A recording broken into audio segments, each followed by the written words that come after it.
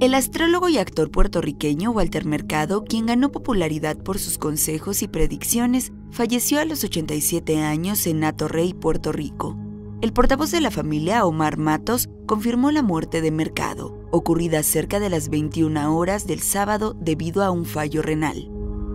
Walter Mercado había enfrentado problemas de salud, pues sufrió una caída que le ocasionó una fractura en la espalda. También tenía problemas cardíacos, pues en 2012 sufrió un infarto que lo llevó al hospital. En ese entonces aseguró que se había ido, visto a la muerte y volvió a la vida.